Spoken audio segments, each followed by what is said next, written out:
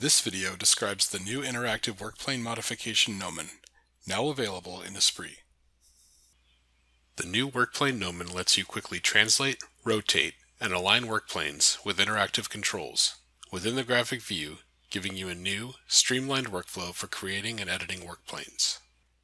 To get started, select the Modify Workplane command from the Home tab, or use the button on the Heads Up View toolbar. The Workplane Modification Gnomon offers five modes of control. Vector Alignment, 2D Translation, 3D Translation, Plane Alignment, and Rotation. To align the gnomon to a vector, select the arrowhead for the vector that you want to align, and then click the edge to align it to.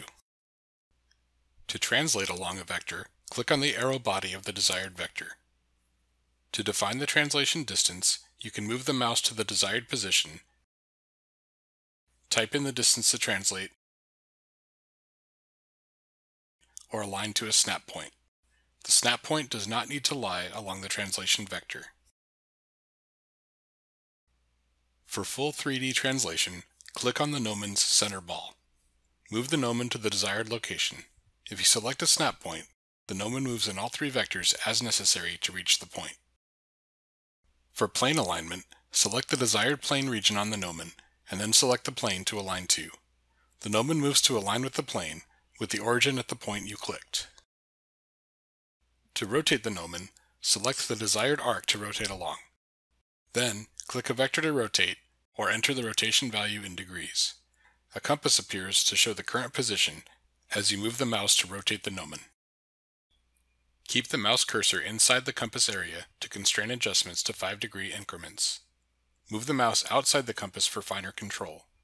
Note that you can also still enter a numerical value here. When the gnomon is in the desired final position, you can either press escape or save the position as a workplane to exit workplane modification.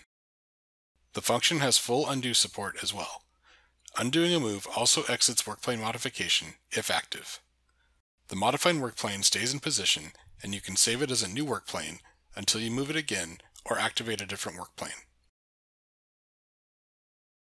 The Workplane Modification Gnomon is a useful tool to define workplanes for tool axis orientation, and it can also help you quickly orient a part file for machining in Esprit. First, we will align the XY plane with the top face.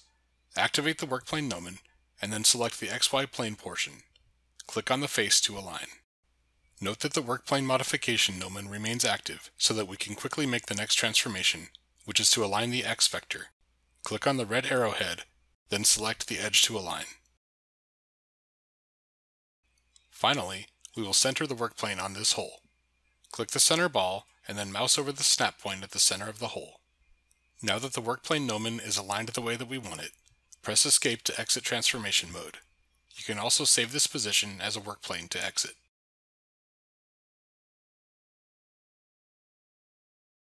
Select the part and use the Align Plane transformation type in the Move dialog with the XYZ plane as the destination plane. Click OK. The part is now aligned with the global XYZ origin at the specified location. Thank you for watching this Esprit product feature video. For more information about this and other new features in Esprit, refer to the release bulletin and product help.